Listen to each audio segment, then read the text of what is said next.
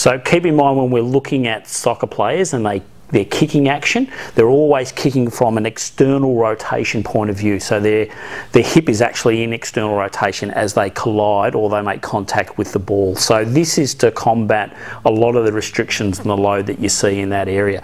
So we're going to be looking specifically at our deep external rotators because they're the ones that are going to take a big brunt of that load. And this is a release technique that'll help combat all that load that builds up just from the excessive amount of kicking. So quite simply, we've got Bianca in a prone position. So we're going to locate the lower part of the greater trochanter. So I'm going to come in with just a really loose fist. Now to start with, we're going to work from about, say, quad fem all the way up to the sacrum. But as we do that, we're going to introduce a little bit of external rotation as we do this as well. And in this case, obviously, we're going to be using a little bit of internal rotation, okay? So working across the tissue and up to the sacrum, okay? And we just broaden that, pick up the next lot.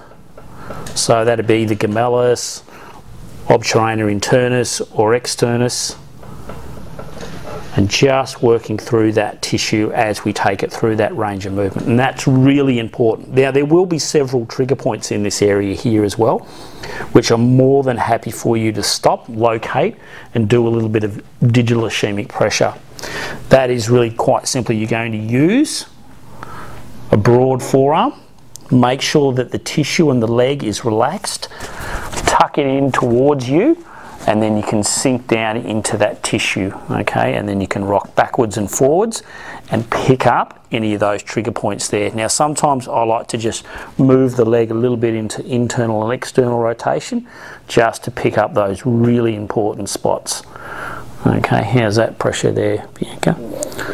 Yep so obviously what you'll find if they're pushing back towards you then you're going in too deep, okay? We want a little bit of resistance, but we don't want a great amount of resistance.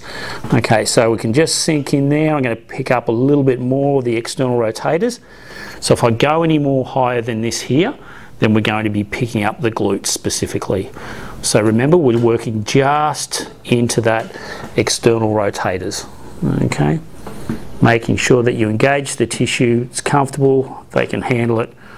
Hook into the sacrum the lateral border of that sacrum, pick up those trigger points. Okay, repeat again. Start quad fem and work your way up.